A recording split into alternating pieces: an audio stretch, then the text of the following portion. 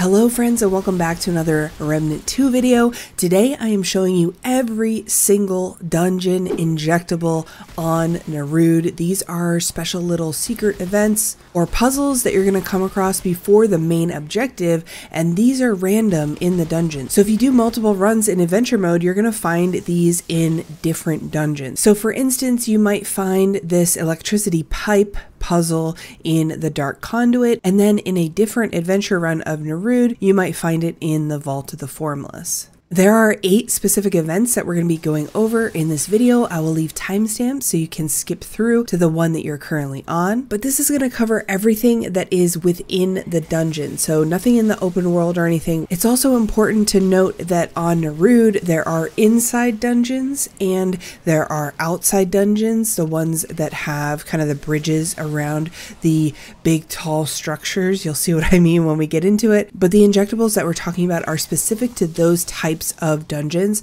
So they're two different groups, inside and outside. As always, if I missed anything, definitely leave a comment below. I tried to be extremely thorough on these injectables and have spent days playing Remnant to get footage for all of this.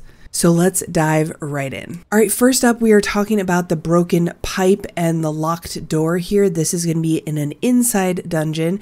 You'll see a purple behind some glass and behind a door, just like this, with a couple pipes.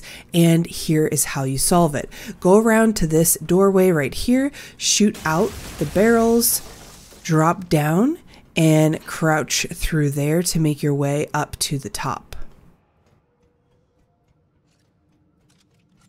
Once you're up top, you're going to pick up the rerouting cable ring. The rerouting cable says gain 5% of max health as shield for 5 seconds after spending 25 stamina accumulation, resets after 5 seconds of inaction, and it's a max of 50% shield. And then when you turn this corner, instead of dropping down right away, you're going to crouch, look through the little hole there until you can see the electric barrel, shoot it, which is going to connect the two pipes because there's water on the ground, which is going to then open the door when you jump back down.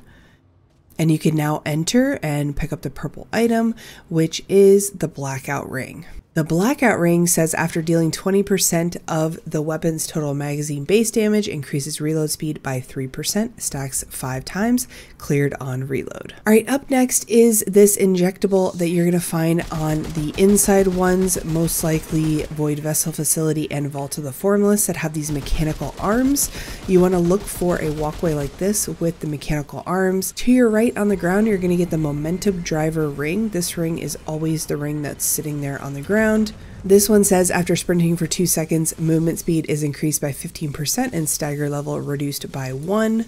After you grab that, you're going to wait for these mechanical arms to bring this piece of metal all the way up and you're going to want to jump on that flat surface. Now, I like to wait until the mechanical arms are a couple more up towards the top because I think if you're on it for too long, you might get hit by that electricity. So I wouldn't chance it. I would just wait for the one to come out right here and then you want to get a running start and jump onto the platform like that. Drop down and you'll see the Atom Splitter melee. The Atom Splitter mod is called Fission Strike. On neutral evade attacks, Atom Splitter achieves nuclear fission, releasing a wave of charged particles which deal damage to targets within 20 meters. Charged neutral evade attacks increase range by three times and damage by 25%. I also want to say if you're digging this information and you like the way that I present it, definitely consider subscribing. I'm going to have a lot more Remnant 2 videos, including all of the DLCs, so you can look forward to that in the future. All right, next up is the purple orb. Now, if you've seen this one, you know what I'm talking about, but basically you're gonna look for the broken down train car like this. Once you make your way through the train car, you're gonna see a purple item. Right next to that purple item is going to be the purple orb that activates once you get close. The purple item is Ring of Deflection. As soon as you pick that up, you're going to activate the purple orb. Do not get close to the purple orb. Do not touch the purple orb. The purple orb will kill you. I'm not sure if there's a puzzle attached to this or it is just trying to outrun the purple orb and pick up the two purple drops. It could be as simple as that. There are some pretty simple injectables. Anyway, the second purple is Focusing Shard up there in the other train car and that's it for this injectable The purple orb is just going to chase you for the rest of the dungeon now. On to the next puzzle. This is the Rising Water event. If you see this flooded room, you're going to want to make your way around and back down. I'm going to show you the route here. So there's an elevator here, which we're going to get on, and there is another shortcut door down the hallway, but we're going to get on the elevator and go down you make your way all the way down, killing as you go here, and then make your way all the way back the ladders on the other side. And once we clear out the water, this is where we're going to come back to. So just keep that in mind. You're going to make your way all the way up the ladders in order to access the control panel to drain the water. This is definitely a harder injectable to do solo as the water rises up, and there are three items that you can get from this event, so it makes it a little bit more difficult to grab everything. However, you can do it if you are willing to die in the process.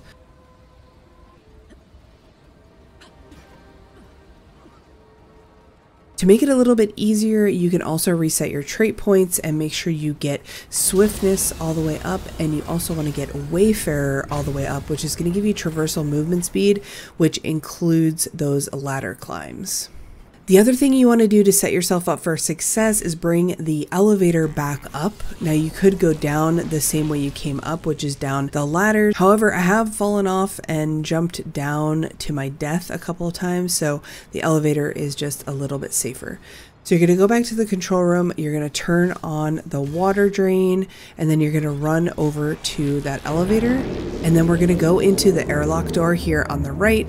And if you're me, you'll go up and grab a couple things and then die, which is why I'm going to be showing you the perspective of somebody else. And a huge shout out to Friendly's channel. I will link down below, but you can see their path for how to successfully get all of the items while solo. They do die at the end, so keep that in mind for you hardcore players.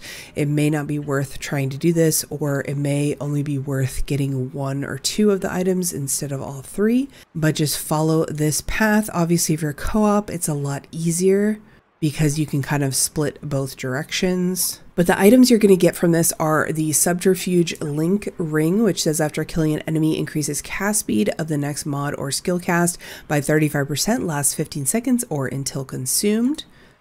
The Insulation Driver Amulet that says while Bulwark is active, gain 15% to all damage dealt and haste. And then finally, the Regenerating Band, which regenerates 3% of max health per second while a shield is active. Up next, I'm showing you guys one of the outside area dungeon injectables. This one is the hole in the elevator shaft. So as you're going through the elevator shaft and you're rising up like this, if it's not spinning around, the elevator isn't spinning around, that's a good indicator. You're gonna look for an area that's a little different like that and jump on through the hole. There are a couple enemies to fight, but once that's done, you're gonna be picking up the low yield recovery ring. This says killing an enemy regenerates 5% max health over 5 seconds. Additional kills increase duration by 5 seconds, max 30 seconds. After you pick that up, you're going to head back out towards the elevator to get back down. And if you're like me, you're just going to go back down and go along your merry way. However, let's stop right there, back it up, and we're going to go to Another channel's footage, La Vida Virtual, I spent so many hours trying to find this injectable in the first place that when I went back and was spending hours trying to find it again in order to get this new ring, I just could not find it and I wanted to get this video out for you guys. So their channel will be down in the description below. However, when you get to the elevator that's going to go down, you basically want to step back from it while it goes down because it's going to bring another elevator down to you from the top. So once the elevator is fully down on the ground level, there'll be another elevator that you can hop onto and go up. So once you hop on there, you're going to go all the way up to the top. You'll see the part on the map, and then you're going to walk up and get that propulsion loop. This is one that I'm going to have to go back and get because I still don't have this one, but it says after killing an enemy increases movement speed by 5% and consumable use speed by 10% for 10 seconds, and it stacks three times. All right, now we are on to all the mutators that you can get as random injectable events in your dungeon. There are three aberrations and I'm going to show those to you now. First up is this red drop down tunnel type looking thing. This is going to be in one of those outside areas, outside looking dungeons. You're going to make your way down the red tunnel. There's an elite that flies up out of the middle, but just keep making your way down. Be careful not to drop all the way down because you will die to fall damage.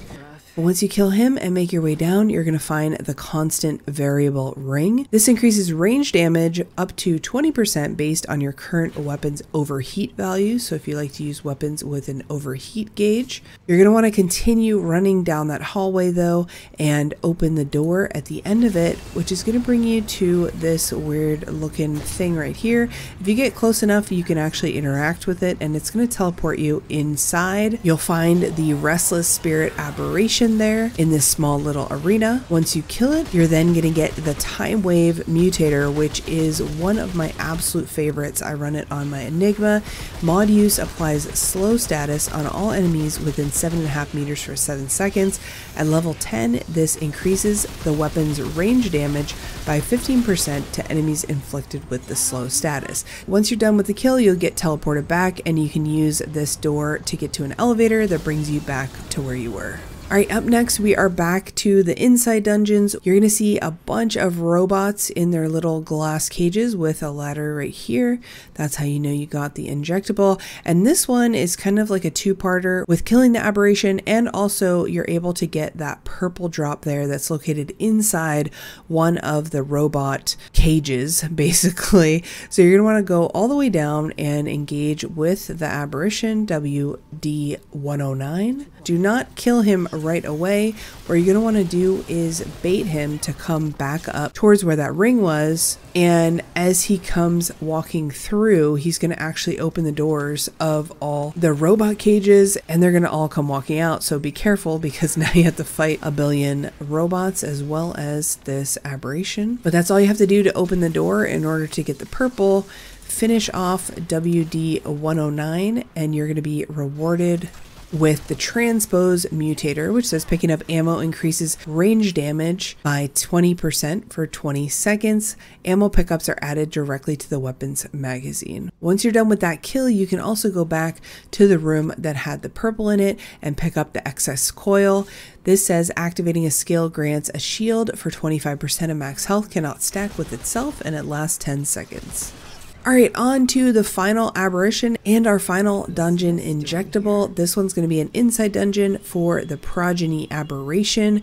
This one has a locked door and you're going to have to find the glyph in order to unlock that door. Now the glyph can be anywhere in the dungeon. It's going to be randomly placed. Mine was just in this little hallway here. So once you find the airy glyph, you're going to grab it and make your way back to that dungeon door.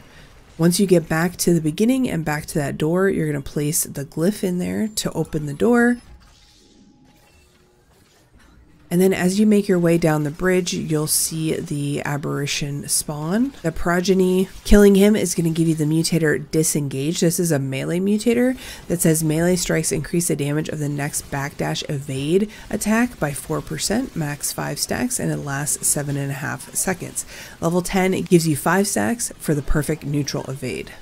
Once you're done killing him, you want to make sure you fully explore the area and go all the way up because there's actually a ring drop up there, the Ring of Crisis. As when the wearer's health drops below 25%, you gain a shield for 25% of your max health and it lasts for 10 seconds. Alright guys, that is it for all of the injectables in all the N'Erud dungeons. I will be trying to get a majority of this information in written form up on our website, dpscheck.gg. Coming up this week, I'm going to get as much info on DPS check, but I'm also going to be covering Starfield. If you don't follow my Twitter, I announced that I got a early review code, so I've been trying to balance Remnant and Starfield, but I will be streaming on Twitch this Friday the 31st starting at noon Eastern Time when our embargo lifts and we can start a Starfield playthrough. So if you're interested in checking it out and want to see what the gameplay is like, consider dropping a follow and you'll be notified when I go live. But that's it for this video. I'll see you guys in the next one. Bye.